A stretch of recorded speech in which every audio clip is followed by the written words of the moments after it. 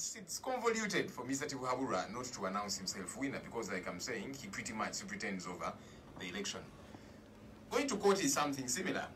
Yes, there were people. So there were two schools of thought. Um, just after the election, there were those who were saying that going to the election is um, a total waste of time because the courts, the justices of the Supreme Court are appointed by Mr. Tibuhaburwa.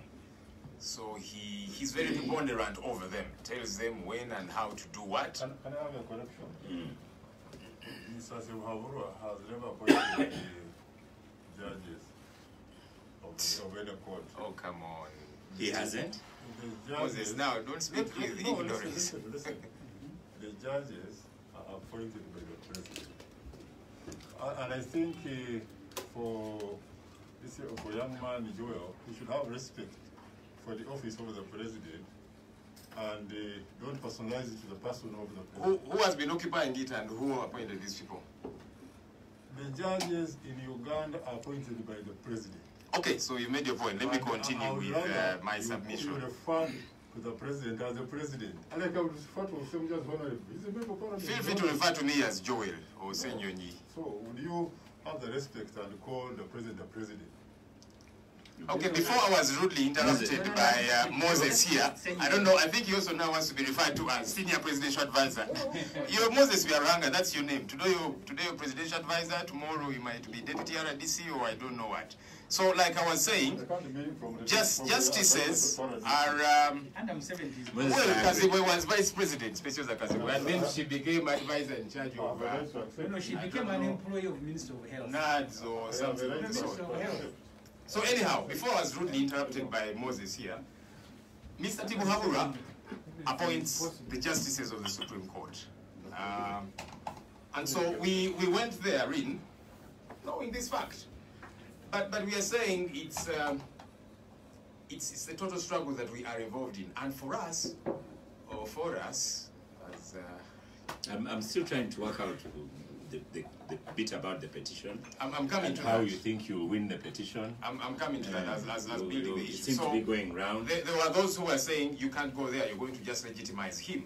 And then the other school of thought was look, let's go to court because, one, we have said we are going to use all the and legal you go court, you avenues fully legitimize they are, that are available process. for us. Um, because, you see, for us, we are civilized. We are not like Mr. Tibuhaburwa and his fellow rebels that went to the bush, shed blood.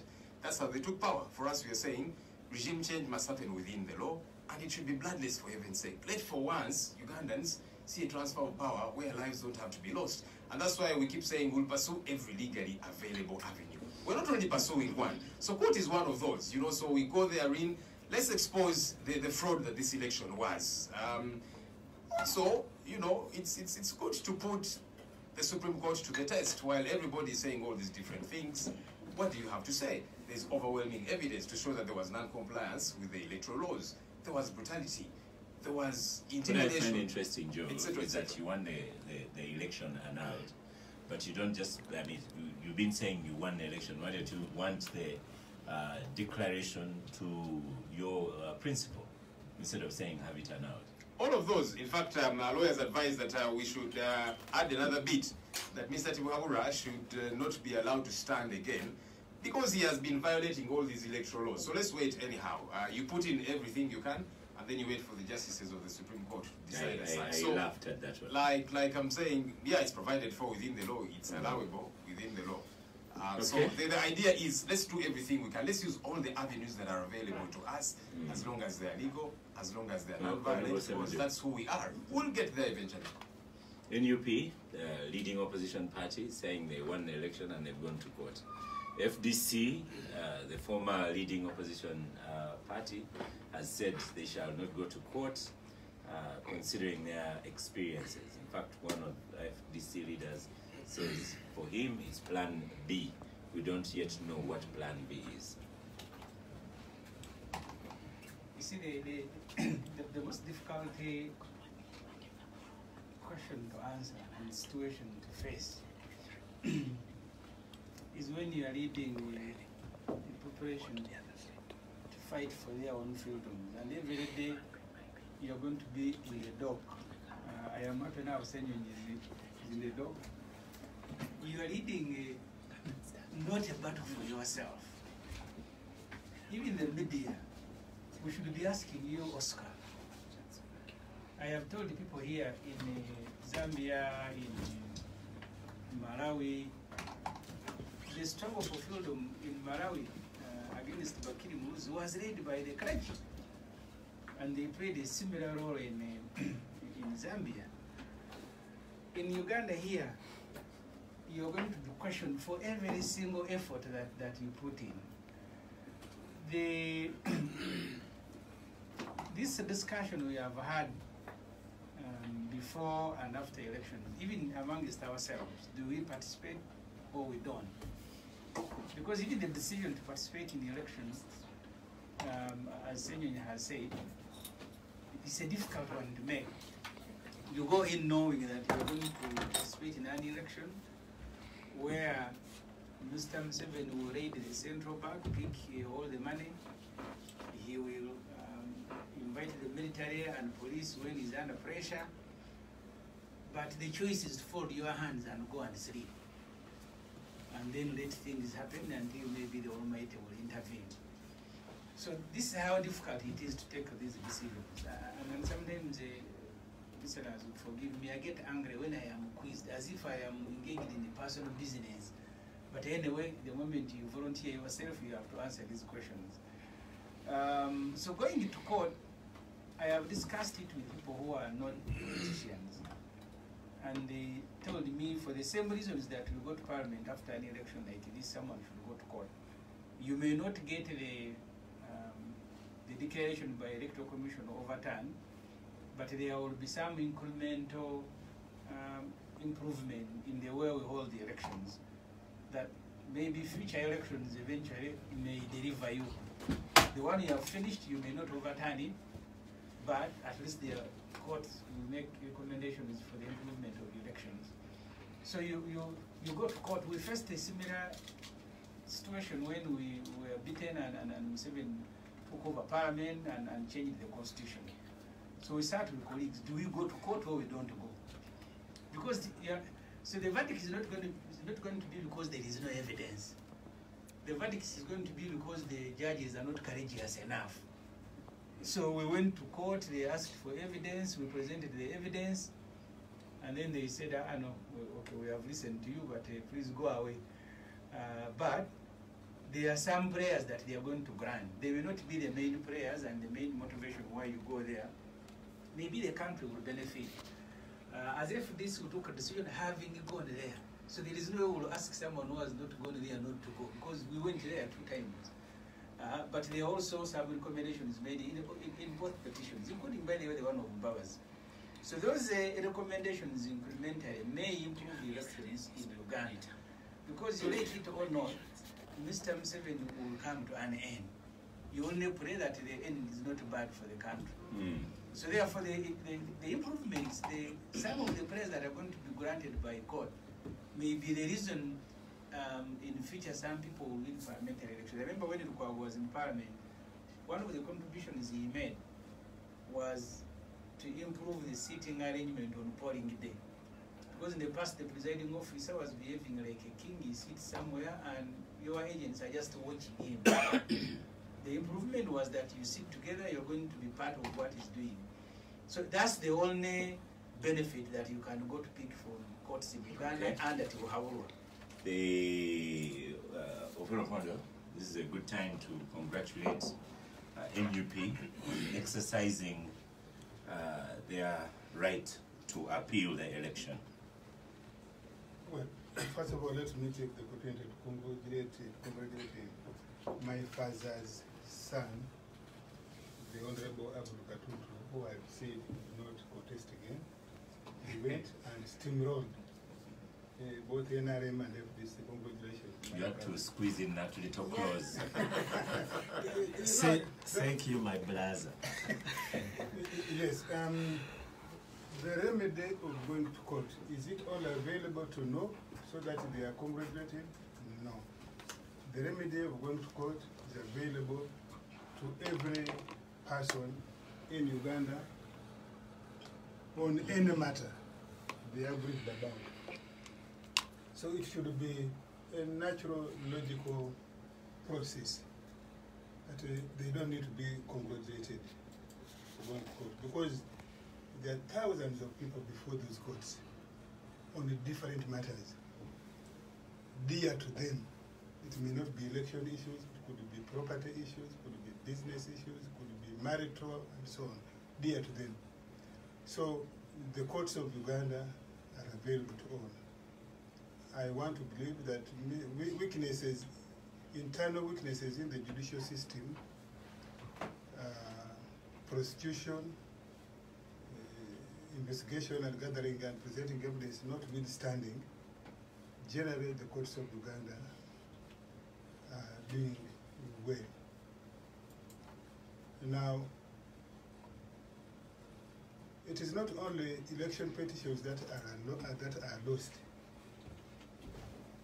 Every other case, every other matter can also be lost and won, depending on how the evidence you present convinces the courts. And so, when the courts, when you fail to convince courts, the judge, the magistrate, or a panel of judges will decline to grant your prayer.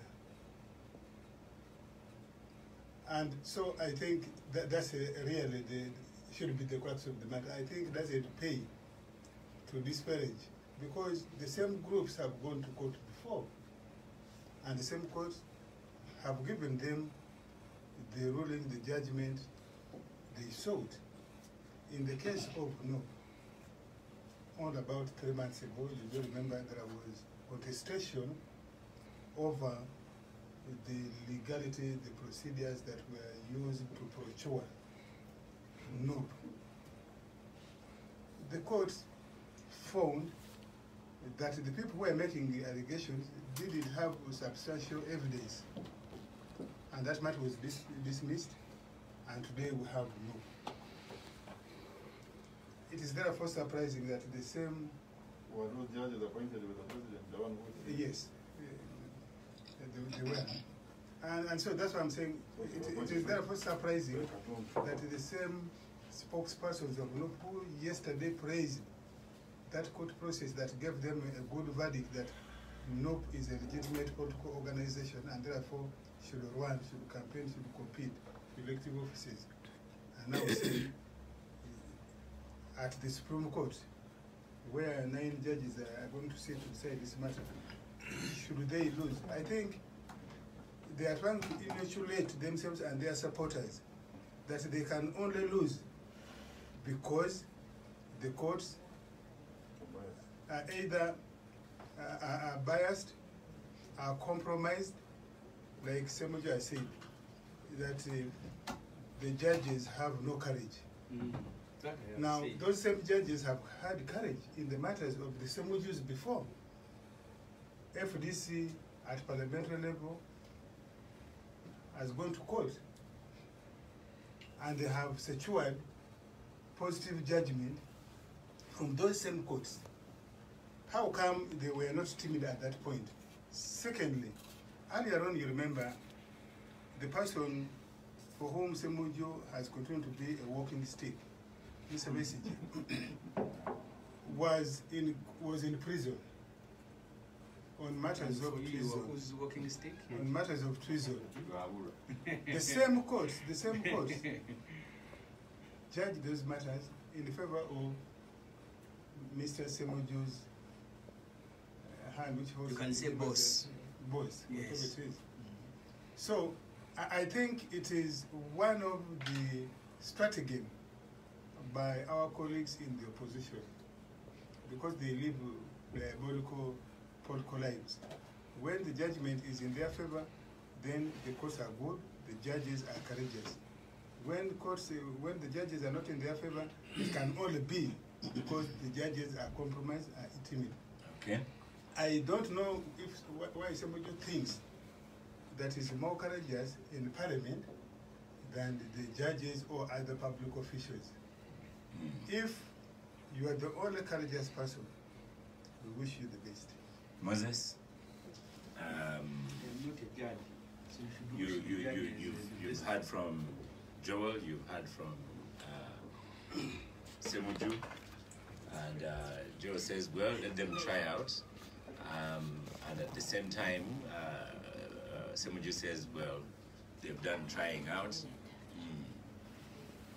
Well, well, um, the courts in Uganda, I'm thinking the world over, make decisions based on facts and the law. The law in Uganda in respect to elections is very clear. Now the question will be which facts have uh, not presented to court before court. They have already made their petition, they have served the, those who intended to serve, the three parties, President Yoweri Museveni, the Electoral Commission and the Attorney General. Uh, Different address, but the same. But the lawyers and the EC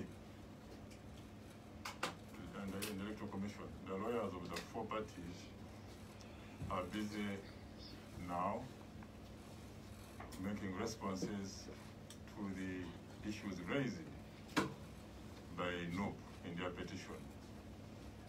And uh, I can assure you, uh, those lawyers have good, good evidence to show that what has been presented by NUP is not good enough to warrant um, the, the election petition to stay. So, my personal opinion is, is that You, you seem to be saying, like, may the best person win. yes, my, the Yes, best person will be the, your- your the best person will win, Mm. and uh, based on the law of Uganda and based on the facts presented Okay. by both parties. Do you find it interesting that, that they are requesting that President Museveni is disqualified from any other public office? Well, they can make any allegation, I mean, any prayer they want, but they, can, they, will not succeed on that one. And, uh, my, my view that it will be dismissed because the, there's not something new which they're presenting, the same Jews didn't present, and the law has not changed much. There have been amendments, but I don't think much has changed to warrant that. Uh, you see, goes home. to, to warrant a dismissal of the case. It's not about courage of the judges. Like Ofwono has said, the judges of Uganda have had the uh, courage, based on the facts presented, to dismiss cases, to allow even the cases involving opposition to stay, including the one where uh, Honorable Kyagulanyi became an MP somebody had presented, had been elected in that position of Kyadondo East, and uh, somebody went to court and petitioned the court, where the judge was appointed by President Museveni, approved by Parliament. Maybe he meant Just that, for uh, information, the one who went to court was uh, the NRM flag. Yes, yes, yes. Just it- information. Yeah, yeah, I, I, you don't, I don't need I, Moses, I think what Ssemujju meant was that in cases concerning the president, that's where maybe no, no, someone. No, no, you see, uh, a Joel, I'm not officer responding maybe. Ssemujju. Mm. Ssemujju is, is now, he, he has been in parliament for some time, I think he's uh, Oh. now getting old enough to, to be more, more pragmatic. Uh, so, so Senya is saying, say, say, say, Joel was, Did I hear you? Is, is that a compliment? Joel was saying, Yoga. Joel was, Joel said that the judges, they, since they have been appointed by President Museveni, and for him, he has, he has no courtesy of calling uh, him a president. He thinks he, What is that? He he, he, he thinks no. He thinks he calls them. He, he appoints them as in his personal capacity.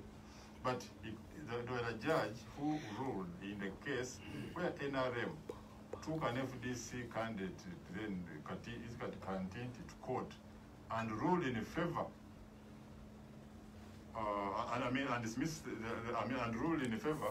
And they, it is in that ruling that uh, after the, co- they, they allowed the uh, by election that uh, Kyagulanyi became an member of parliament. You wanted to say ruled in favor of NRM.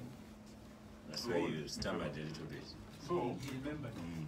So, but see, if Kevin was in favor of the NRM can't do his court. So, so the judges in Uganda, you had you had even the the, the, the, the age limit case was taken to court uh, by by some members of parliament, I think, and I don't know whether Honorable someone joined them, or he was one one of them. He was an observer. They, they, they went to court, to the constitutional court. The constitutional court ruled and dismissed some of the of the issues, allowed some of the issues they prayed And the most important one. disallowed the others because they didn't have enough facts on it and uh, the, the uh, was not on, on, on, your, on your side. Other, others were allowed. They went to court. Others, others were allowed. But now, in that, and, and I remember there was a lot of praise over the constitutional court and so- forth. Anyway, uh, Justice Kakuru, that, that time if I had been made Chief Justice, everybody would say, I think this is the best person to, come to Justice because he had ruled in your favor ruled by one- in, in some of your cases. But some of the judges have allowed your petition, not so. But the majority did not allow your petition. And you were in favor, you, you really praise those who allowed your petition. And those same judges have been appointed by the same person. Okay. Now, here Thank is you, the, Moses. so saying, ah, we know that the judges uh, appointed by the president, they cannot say no.